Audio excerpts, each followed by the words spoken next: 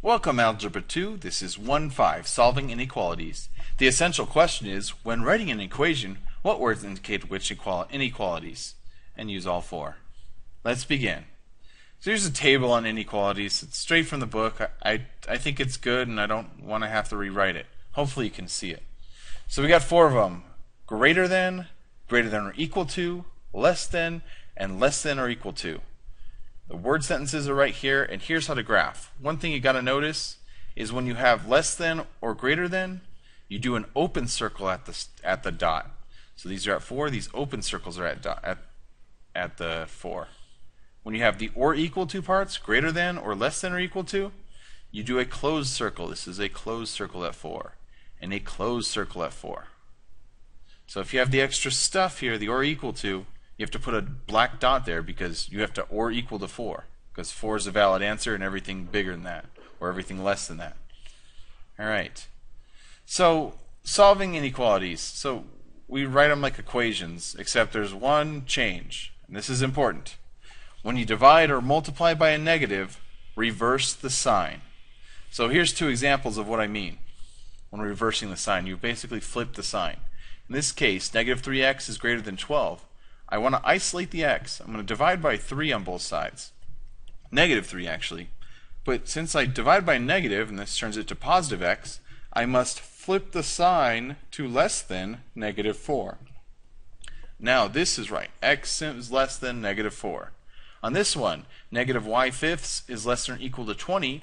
I'm going to multiply by positive negative 5, multiply by negative 5, and what happens is, you know what, I don't like that notation. Because that might get confusing. Okay, so we're going to multiply by negative 5. Hmm. I'm going to change up how I do that. Anyways, this cancels out the negatives and the denominator right there. I'm left with 5. y greater than or equal to 20 times negative 5 is negative 100. So you got to flip the signs, reverse the sign. You have to do that.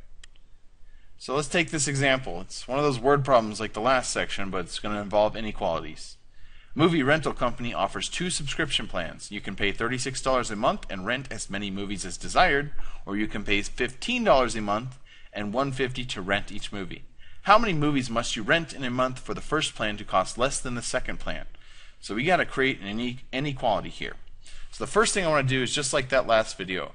I want to look at my operations what are going on here? Well, a movie rental conference, two subscription plans. So we're two things we're comparing here. You can pay $36 a month. So for the first plan, we're going to call this.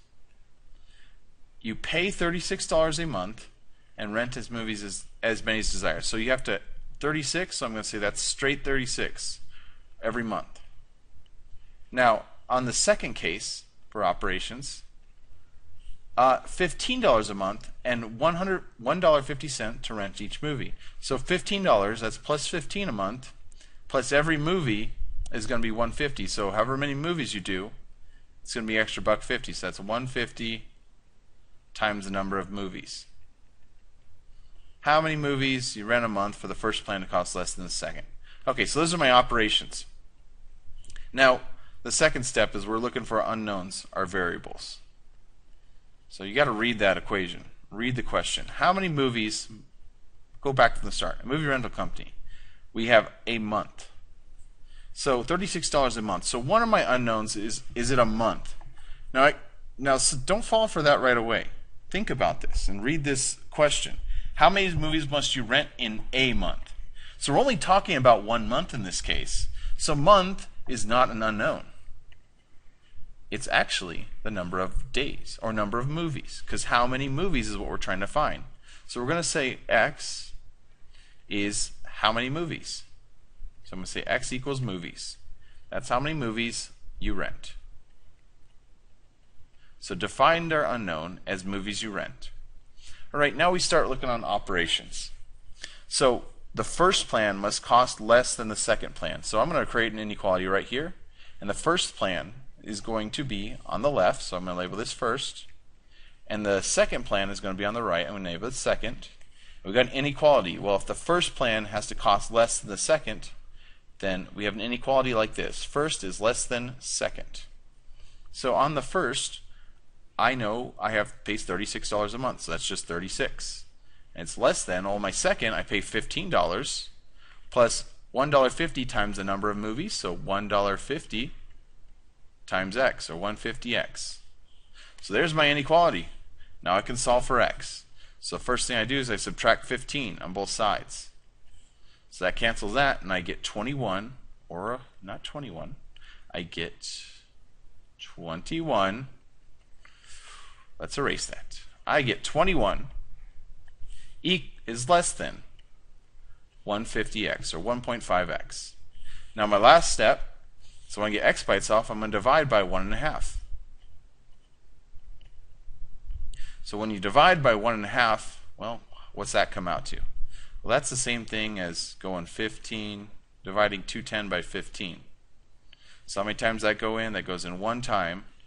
I'm carrying a 15, and that's going to be 6, 60. How many times that go in? 4. So that's actually come out to 14. So the number of movies that you must rent in a month has to be greater than 14. There's your answer. All right, always, sometimes, never. So inequalities work just like the always, sometimes, never of, of equalities. It's you have your always and never. Your always have to make sense, and your nevers have to not make sense. So let's let's do an example to show what I mean. I'm going to distribute this so it's 10x minus 15 minus 7x is less than or equal to 3x plus 8. First step is combine like terms. 10x, 7x is going to be positive 3x minus 15 is less than or equal to 3x plus 8.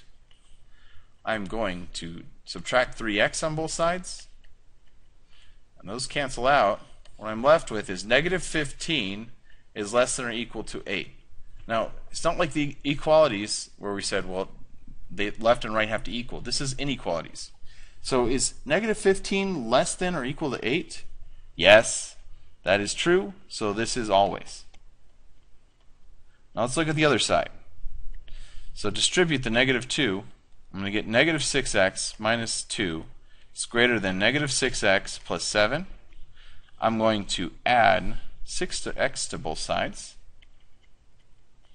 So 6x's will cancel. I get negative 2 is greater than 7. Was negative 2 greater than positive 7? No, that doesn't happen, so this is never. Because that's just not true. Compound inequality. So sometimes we want to combine multiple inequalities. Now there's two cases here. If we say and, you only the overlap it, only the overlap is what we graph. If there's an or, you put both together and you combine them. So here's what I mean. I have two inequalities here. 7 is less than 2x plus 1, and 3x is less than or equal to 18. So I want to reduce both of these first. So I'm going to do that by subtracting 1 on both sides here. So I get 6 is less than 2x. Then I'm going to divide by 2 on both sides, so I can get 3 is less than x. Over here I'm going to divide by 3, so I'm going to get x is less than or equal to 6. I want to rewrite this, just flip it around, because I like having the x on the left-hand side. So x is greater than 3, x is less than or equal to 6. I'm going to graph both of these. So if I put my number line and put 0 right there, I'm going to say 3 is right here, and x is greater than 3, that's going to happen, and we're just going to do this right above the line over here. So we want to sketch it. It's going to open circle and greater than that way. Now for x is less than or equal to 6, here's 6, and I'm going to do a sketch up here and it's going to be a filled in circle, and less than goes to the left. So what's my combined area? Well, the overlap is right in here. So my graph on the number line is going to have an open circle at 3, a closed circle at 6, and a line going in between. So this is the compound inequality right here. Try some examples. So pause the video. Three, two, one. So a digital music service offers two subscription plans. The first has $9 membership and charges $1 per download. The second has a $25 membership and charges 50 cents per download. How many songs must you download in the second plan to cost less than the first? So I'm looking at my information and I say the first plan right here, well, we know that it has a plus $9 membership fee and then it goes $1 per song, so plus 1 a song. And for my second, we know this is going to be at $25, so that's plus 25, and it charges 50 cents per song. So when we're doing those, now we got to look at our unknowns here. So what's my unknowns? What am I asking to find? How many songs must I download? So my unknown is X, and that's going to be songs I download.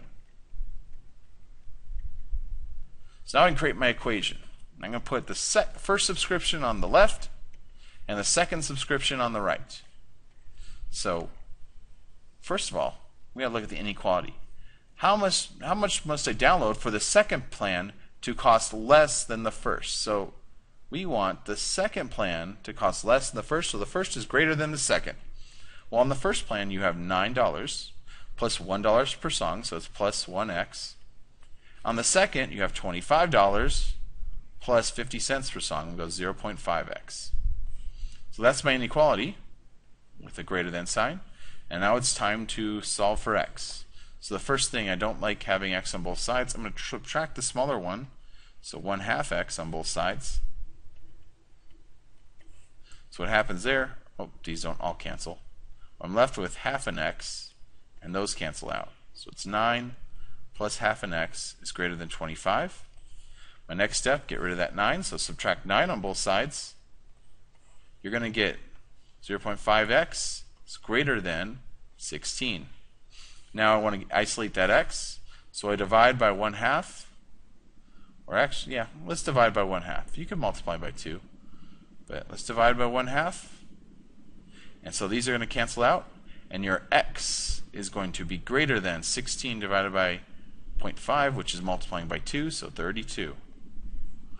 So, how many songs must I download? More than 32. Next one. Example, is this, okay, pause the video. Let's begin. Alright, distribute on both sides first. So 8x minus 12 is less than 8x plus 8. First thing I do is I'm going to subtract 8x on both sides. So if I subtract 8x they both cancel out, and I'm left with negative 12 is less than positive 8. Is that true? Yes, it is true. So it's going to be always. Always. Last one. Pause the video. Alright. Doing this. Distribute. So negative 6x plus 15 plus 1 is greater than or equal to 4. First step is going to combine like terms. So 5 plus 1 is going to be 16. So negative 6x plus 16 is greater than or equal to 4. Next step, I'm going to subtract 16 on both sides. If you do that, those 16s cancel out. I'm left with negative 6x is greater than or equal to negative 12. And my last step is I divide by negative 6. But when you divide by a negative, you must flip the sign. So x is less than or equal to Negative, negative cancels. 2. So there's my solution. x is less than or equal to negative 2.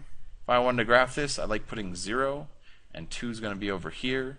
It's going to be a filled in circle, and it's x is less than, so it's going this way. There's my graph. That's it.